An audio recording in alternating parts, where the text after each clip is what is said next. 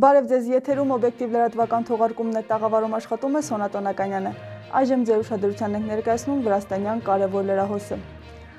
1991 թվականի մարտի 31-ի հանրաքվեից անցել է 31 տարի։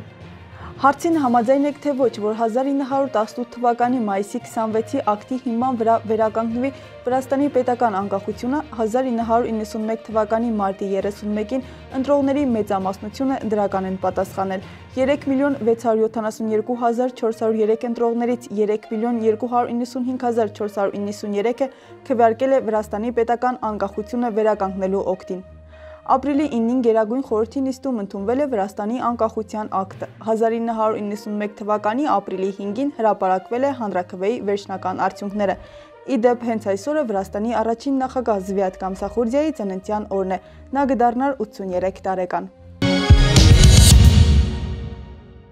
Վրաստանի վարչապետ Իրագլի Ղարիբաշվիլին հարգել է Զվիատ Կամսախուրդիայի հիշատակը։ Վարչապետն հարգանքի տուրք է մատուցել Վրաստանի առաջին նախագահ Զվիատ Կամսախուրդիայի հիշատակին։ Իրագլի Ղարիբաշվիլին այցելել է Մթածմինդայի գրողների եւ հասարակական գործիչների պանթեոն, որտեղ ծաղիկները խոնարել նախագահ Զվիատ Կամսախուրդիայի գերեզմանին։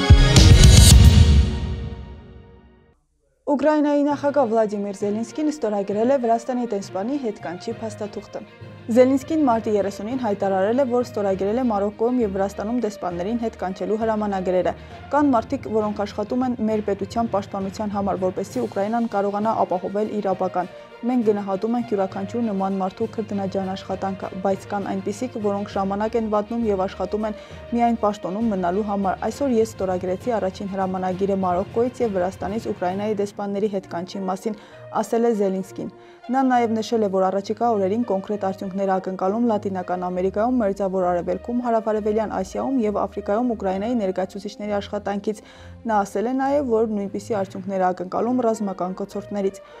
Ուկրաինայի նախագահ Վլադիմիր Զելինսկին մարտի 1-ին հայտարարել էր Վրաստանի տեսփան Իգոր Դոլգովին խորհրդակցության նպատակով հետ կանչելու մասին, վկայակոչելով վրացական կողմի կամավորներին ազատ չարձակել եւ բաժամիջոցների վերաբերյալ դիրքորոշումը։ Վրաստանում կիրականացվեն բնական գազի որոնման աշխատանքներ։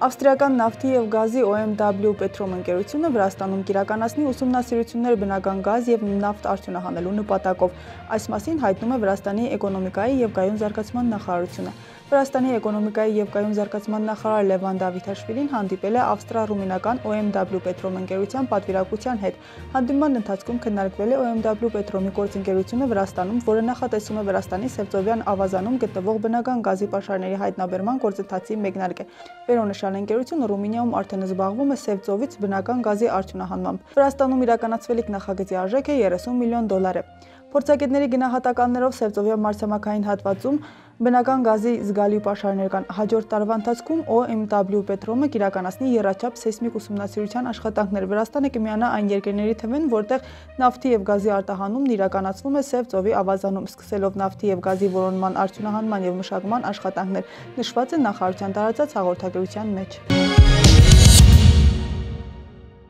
Այժմ ներկայացնենք տեղեկատվություն երկրում համաճարակային իրավիճակի մասին։ Վրաստանում նախորդին բացահայտվել է նոր կորոնավիրուսով վարակման 450 դեպք։ Այժմ եղանակի մասին։ Վաղ նախարքալակում տեղումների հավանականությունը 8% է։ Ցերեկային ժամերին օդի ջերմաստիճանը կհասնի 10 աստիճան ջերմության, երեկոյան 1 աստիճան ջերմություն է սպասվում։ Օբյեկտիվի լրատվության համար այսքանն ենք նախատեսել խաղաղ եւ առողջ մնացեք կհանդիպենք։